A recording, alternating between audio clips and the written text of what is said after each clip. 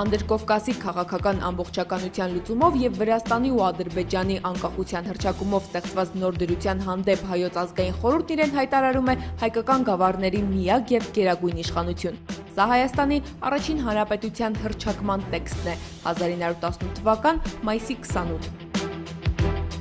Հայոց պետականության հիմնակարն իր համախոհների հետ դրեց Արամ Մանուկյանը։ Դեռևս Վասպուրականի ինքնապաշտպանության տարիներին նա ստեղծել էր պետական կառավարման մոդելը։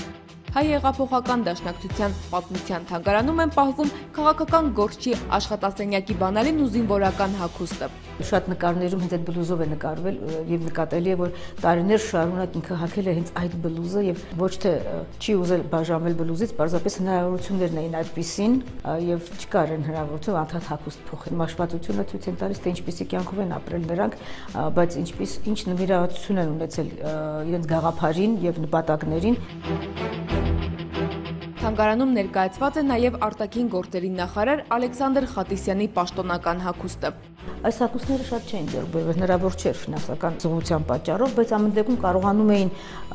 ձեռք բերել, որպեսզի հայ պաշտոնյան կարողանա ներկայանալի լինել աշխարհին եւ ամոթով չմնալ մյուսների առաջ, քանի որ դա պետության հեղինակության հարցն է եւ ոչ թե իրենց։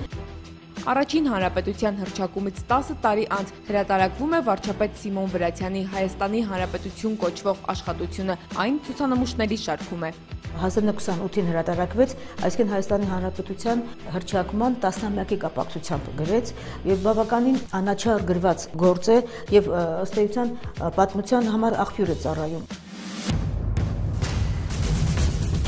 Առաջին հանրապետության ստեղծումն ուղեկցվեց պետականաշինության լուրջ գործընթացով։ Կառավարությունը որոշում կայացրեց աշխարհի հայերին շնորհել Հայաստանի նորանկախ պետության քաղաքացիություն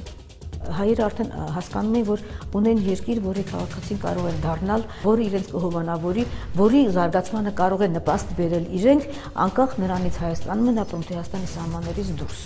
Եվ դա արդեն մեծ ավելի ողջավորություն ու վստահություն էր ներշնչում։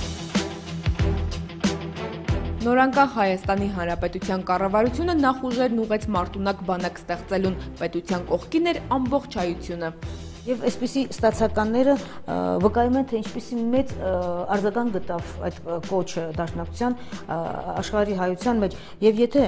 1920 թվականի մայիսին Միքայել Միսակյանը կարողանում է 120 դոլար միանվագ նվիրել ի նպաստ հայոց բանակի եւ այս հանգանակության միջոցով բավականին մեծ գումար հավաքվեց Հայաստանի բանակի համար անդրաժեշտ պարագաներ եւ զենք գնելու համար։ Նորանկախ Հայաստանի հիմնադիրները գիտեին նաև կրթության արժեքը։ 1919 թվականի մայիսի 16-ին հիմնադրվեց Երևանի պետական համալսարանը։ Պետության ստեղծումը մեծ տոն էր հայերի համար։ 1919 թվականի մայիսի 28-ին հայությունը տոնում էր անկախ պետականության մեկամյակը։ Այսինքն նա ոչ միայն առաջին տարեդարձն էր մեր անկախության հռչակման, այլև այդ օրը Ալեքսանդր Խատիսյանը, որը օրվա վարչապետն էր, կարդաց անկախ եւ միացյալ Հայաստանի հրճակագիրը եւ դրանով Հայաստանը առայժմ ոչ դե ֆակտո, բայց դե յուրը իրավաբանորեն հրճակվում էր միացյալ եւ դրանից հետո արդեն փաստորեն Հայաստանի Հանրապետության կառավարություն ձեռնամուխ եղավ քաղաքացիության սկզբունքների մշակմանը եւ ձևակերպմանը։ Թանգարանում ներկայացված է նաև առաջին հանրապետությունից ժառանգություն մնացած միակ երագույնը։